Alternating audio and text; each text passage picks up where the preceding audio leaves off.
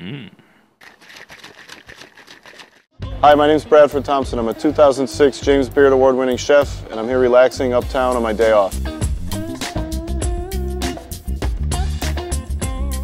So I'm gonna make some barbecue lamb. I'm gonna use my new ISI whipper and siphon to do toasted almond espuma and some fried pea. So why don't we go inside and get cooking? Today's dish, we're gonna do a pepper crusted lamb loin from Colorado. We're gonna do an espuma of toasted almonds. So we have organic almond milk, thyme, garlic, and raw sliced almonds. We have a beautiful spring pea salad. They're just all coming into season now. So I have English peas, snap peas, snow peas, pea greens, and then little baby pea greens. We have uh, bonito flakes we're gonna make a stock with to carbonate, and then that's gonna make our tempura batter of uh, rice flour and egg, and then the carbonated bonito stock, which we're gonna tempura the pea greens for.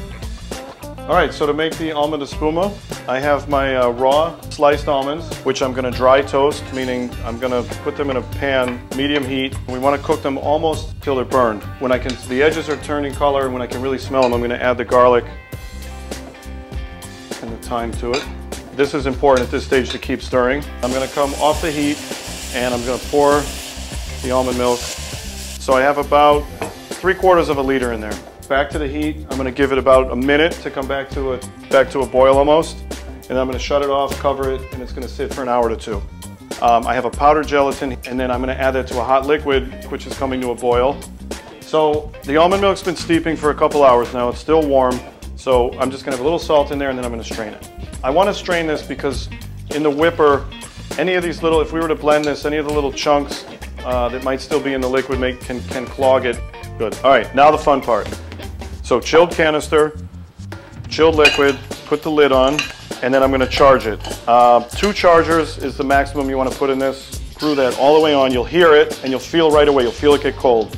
Let it sit for a second. Do a second one. All right, just give it a quick shake, and I'm gonna throw it in the fridge for about two hours. So now for the meat. I'm just gonna trim up the lamb loin, just peel the fat cap off. So you can see this is a very lean piece of meat. This is a great thing about where I live. Um, anytime I have a day off, I try and get out here and grill. And I'm just gonna throw the lamb loin on the grill and um, I'll just vent that, I'll let that sit. And the lamb loin's about one beer. So about halfway through the beer, we're just gonna give it a flip. Grilling in Harlem on a Wednesday morning, nothing better. Beer's done, means the lamb's done. I'm gonna take that and let it rest, and we're gonna go inside and finish the dish. We're gonna make tempura batter. I have rice flour. I'm gonna put one egg in here. Just kind of break the egg up. And then my bonito flakes, kind of break these up by hand and mix them into the batter so I get nice pieces of it. So once that's incorporated, I'm gonna grab the, uh, the soda siphon, which I've charged already. So I'm gonna add a little bit of a little bit of soda at a time. I don't want this, you can see how bubbly that is. I don't want this to be too wet, so I'm gonna add a, just a little bit at a time. All right, so we have just kind of a, a rough batter. You can see it's almost like a, a, thin pancake batter, and there's still some little chunks to it. Now I'm ready to fry the tempura. All right, so quick toss in the batter with these. And these take about a minute and a half probably to fry. What I see here is that because the batter with that carbonation, the batter really gets light and uh, puffs out when it hits the fryer. And then as soon as they come out, I just want to dust them with a little bit of fine salt. And that can sit for 15 or 20 minutes. So we're ready to plate. This really gets served room temperature or even chilled. Just put some of my espuma in the middle of the plate like that. Because we're not doing a sauce really, this, you know, this becomes the sauce. And it also, it holds the peas in place. And I'm gonna slice my lamb loin and I'll sort of just rest these right on top of the peas. Um, I have a little bit of finishing salt and then I have a couple radishes here. I'll put a couple more peas on top. And then these little pea greens, toss them in my dressing here.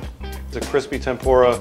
Again, we have crunch from the peas just being cooked, the raw radishes, the crispy tempura, and then at the base of it, our espuma really is the, the soft element and the toasted almond flavor is going to kind of play off the peas. Every bite's going to taste a little bit different, and every bite you're going to get all three of those textures in there.